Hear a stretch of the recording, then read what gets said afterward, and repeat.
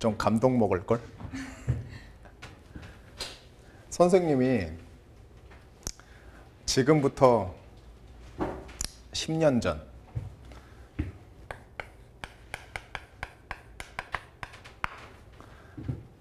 학원 강의를 처음 하던 시절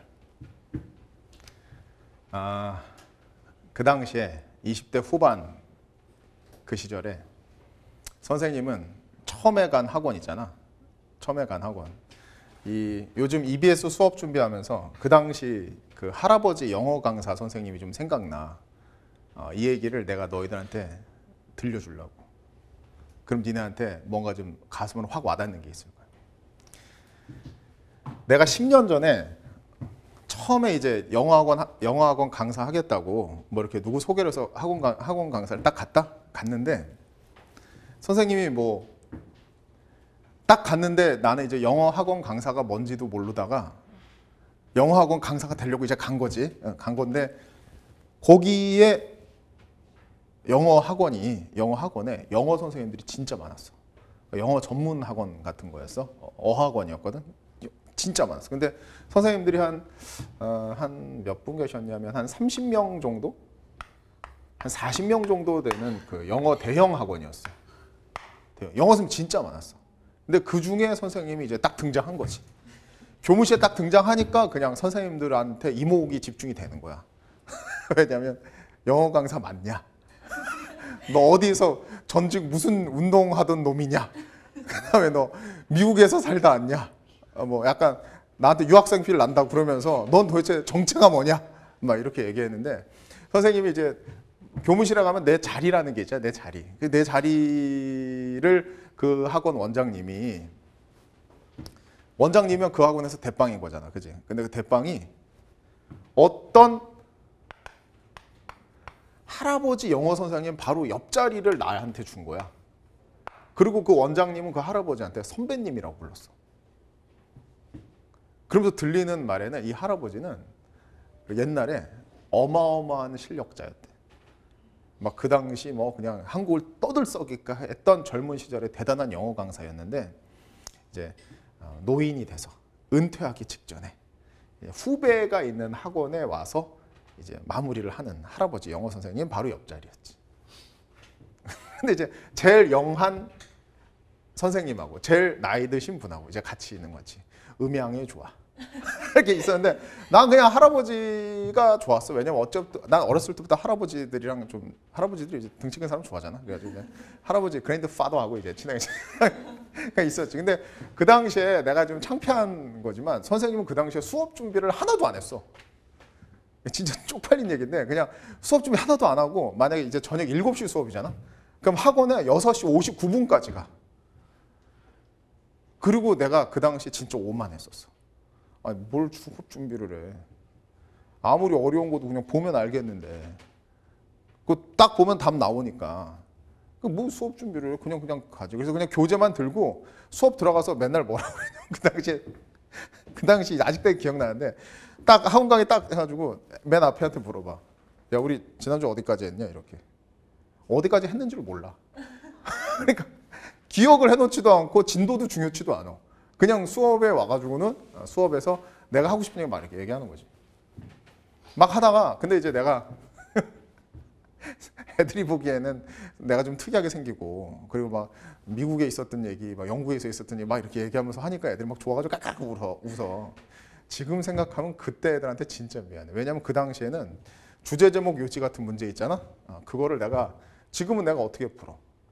딱딱딱 아홉 가지 형태적 요소에 의해서 이건 주제문이야 해서 딱딱 이렇게 답을 냈는데 그 당시는 그런 풀이법 같은 건 내가 알지도 못했고 그냥 어, 다 읽었어 애들이랑. 다 읽어줘 3번이겠지. 막 이렇게 애들한테 답의 동의를 구하고.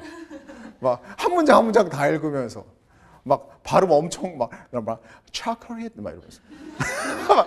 막 근데 애들은 뭐 재밌다고 막 이렇게 해서 수업 들었어. 그러니까 그때 생각하면 그때 이제 되게 미안 했었었지. 그렇게 뭐 즐거운 학원 생활을 즐겼어. 끝나고 막 선생님들하고 치킨 먹으면 주로 이제 뭐 수업보다는 끝나고 치킨 먹는 거에 훨씬 더 나는 학원 가는 목적이 있는 거지. 그래 막 선생님하고 막 놀고 막 재밌게 지냈지. 그러다 어느 날 선생님 인생을 완전 바꿔버리는 사건이 이제 발생이 된 거야. 그건 바로 뭐냐면 이 그랜드 파더가 내 옆에 앉아 있는데 이 그랜드 파더 이렇게 앉아 있다가 떼르르르릉 소리가 나면은 학원에서 이렇게 일어나 가지고 교재 들고 이제 자기가 아, 들어가야 되는 강의실에 들어가서 강의하고 그러는데 이렇게 딱 그랜드 파더 이렇게 있다가 띠리링 하니까 이렇게 일어나시면서 혼잣말로 보약 먹이러 가야지. 그래. 너는 앉아 있다가 보약 무슨 보약을 먹여 수업에 들어가는데 그래서 내가 보약을 먹여 듣고 있다가 그 보약이라는 말이 좀 이렇게 계속 내 머리에 이렇게 좀 며칠이 지났어. 내가 이렇게 뭐 금방 그 꼼꼼한 사람은 아니었는데 그냥 지나갈 수 있는데 그 보약이라는 말이 머리에 계속 새 남더라고. 그러다가 어느 날 선생님들하고 모여서 식사를 하는 자리인데 식사 식당에서 또 우리 할아버지 선생님 은퇴를 바로 앞두신 할아버지 영어 강사 선생님 바로 옆자리에 내가 또 앉았는데 밥 먹다가 물어봤어. 궁금해서 못 견디겠더라고. 보약이 뭐예요, grandfather? 그래서 그랬더니 grandfather가 나한테 할아버지 선생님이 나한테 딱 보더니 진짜 팩트 폭행을 제대로 하시더라고 나한테 하시면서 내가 막내라서 다 나한테 반말했거든? 그때 선생님들이 다. 재영이 재영이 그랬는데. 드시면서 할아버지 선생님이 너 수업 준비 안 하지? 그래. 그러니까 맨날 내가 옆자리에 앉았으니까 수업 준비 안 하는 거 맨날 봤을 거 아니야. 네. 그럼 솔직하게 인정해야지 안 했으니까. 네, 네. 드시면서 대답을 안 해주는 거야. 보약이 뭐냐고 물어봤는데. 그래서 내가 아, 보약 뭐예요 선생님? 알려주세요. 그랬더니 드시면서 밥 숟갈을 탁 놓더니 수업 준비를 그 내가 연기를 잘해야 되는데 그 당시 그 내가 되게 인상적인 그 멘트였거든 그 선생님이.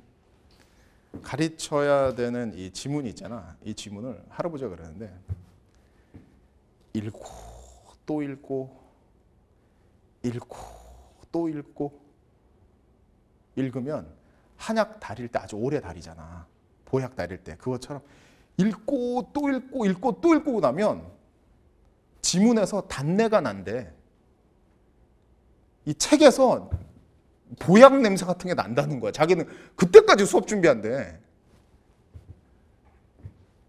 내 머릿속에는 두 가지 생각이 딱 떠올랐어. 미치셨구나. 생각은 떠올랐지만 한편으로는 어 뭔가 저게 진짜인 것 같은 느낌도 또 이렇게 드는 거지. 그리고 뭐 한참 지나서 이제 이분은 이제 은퇴하시고 선생님은 그 학원 그만두고 뭐 이렇게 이렇게 하다가 이제 메가스타디에 들어오고 어, 러셀도 들어가고 뭐 이렇게 하면서 학생들을 많이 만나고 이렇게 했는데 이 나이를 먹었잖아 선생님이 이제 10년이라는 시간 동안 영어 강의를 하면서 요즘 EBS 수업 준비하면서 그때 그 할아버지가 얘기한 그 보약이 생각나. 그때 할아버지가 뭐라고 그랬냐면 지문을 읽고 또 읽고 읽고 또 읽고 읽고 또 읽으면 거기서 단내가 난대.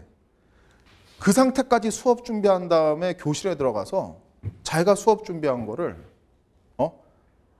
다른 젊은 강사들처럼 애들한테 재미난 얘기 해주고 이렇게 수업하지 않아도 그냥 자기가 수업한 주업 준비한 걸 그냥 하고 그냥 쏟아버리면 보이진 않지만 애들이 애들의 지식 속에 보약이 확 들어가 가지고 성적과 실력이 이렇게 막 확 오르는 게 보이는 듯 하시대.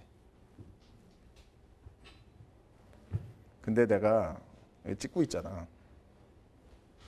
내가 이제 학원 강사니까 나 엄청 잘 가르쳐 이렇게 얘기해야 되는데 나 아직 한 번도 이게 못 느껴졌어. 진짜 솔직하게 말하는데. 이게 내 학원 강사로서의 내 목표야. 되게 노력하고 있어 나는.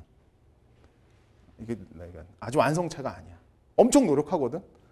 이게 이 보약이라는 단어가 이제 무슨 이 머릿속에 꽉 박혀가지고 학원 강의를 하면서 난 언제 저렇게 되는 거지라는 생각이 들어. 지금 현재 상태로는 선생님이 그냥 어, 요건 진짜 진심인데 내가 보약은 아닌데 그 지문을 거의 이제 거의 안, 아, 더 이상 안 나오는 정도로 투명한 상태까지는 내가 보는 것 같아. 진짜 읽- 읽고 또 읽고 읽고 또 읽고 읽고 또 읽고 그래가지고 내가 오늘 너희들한테 EBS 할 때 야 걱정 마. 내가 다 준비 졸라주니까 니네 고생 시키고 싶지 않아. 이런 얘기를 하면서 내가 한 대로 잘 보면 돼. 이렇게 얘기하잖아. 이게 내 목표야. 영어 강사로서의 목표. 그래서 왜 저번에 우리가 내가 TCC 찍을 때 나도 진짜 마른 오징어를 쫙 짜가지고 거기서 물을 빼는 것처럼 나도 내 딴에는 지문에 대해서 최고 분석을 할 텐데 다른 선생님들 강의 더 들어라 이런 얘기 했잖아. 들어가지고 그걸 이렇게 겹치고 겹치고 겹치면 보약이 되지 않을까? 이런 생각이지. 그러니까 내가 수업 준비를 이렇게 해오니까 아, 니네들은 하지 마. 보약 먹여줄게. 이 말이 아니다 나도 노력을 하니까. 어? 니네들 내 EBS 강의 들으면 어 나처럼 이렇게 분석이 되지는 않잖아. 그지? 근데 나도 목표가 있단 말이야. 그러니까 니네도 니네는 이제 나를 목표로 해. 할아버지 보약은 안 되네요 그러니까 킹콩을 대상으로 해서 이렇게 좀 했으면 좋겠다. 이게 오늘의 TCC 알았지?